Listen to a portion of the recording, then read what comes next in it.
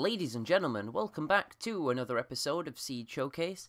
Today's seed contains two woodland mansions, two desert temples, and four villages.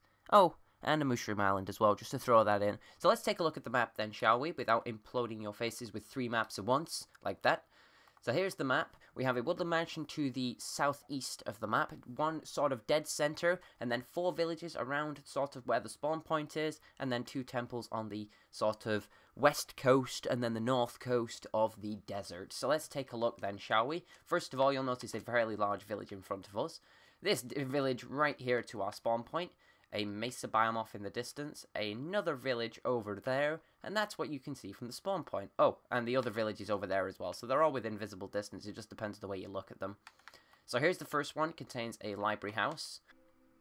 Aha, uh -huh. so, moving on, we've now got a village to the north over here. Fairly decent sized village with one, two, three, four, five, six, seven, eight farms. Very easy place to get started with your food, especially because you've got all the library books from that village right there.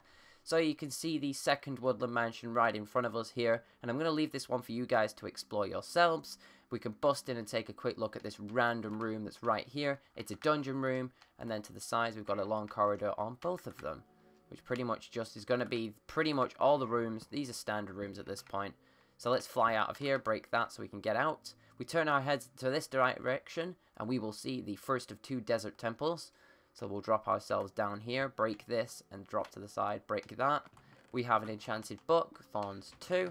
Two more enchanted books of Power 3 and Fortune 3.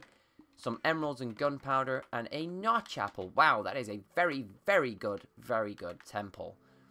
So we can move on from here now as we keep scanning the floor as the daytime comes up. We have the next of the villages over here, and if this blacksmith has diamonds in it, then you're pretty much set for the very start of the game. This is a very powerful seed. In fact, it's even more powerful by the fact that it contains the 4 obsidian you need to make an enchanting table. So, the last place we need to check is we need to fly over in this direction, and we need to find this last desert temple, and there it is. So if this desert temple contains diamonds, you guys will have the perfect start to set up an enchanting table in a world. The first chest contained nothing. The second chest contained nothing. This one contains an enchanted book of Blast Protection 3, and this one contains looting 2.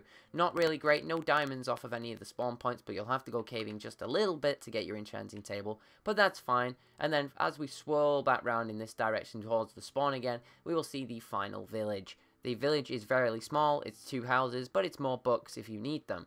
So thank you very much for watching, I hope you've all enjoyed, and I guess I will see you all again in the next one.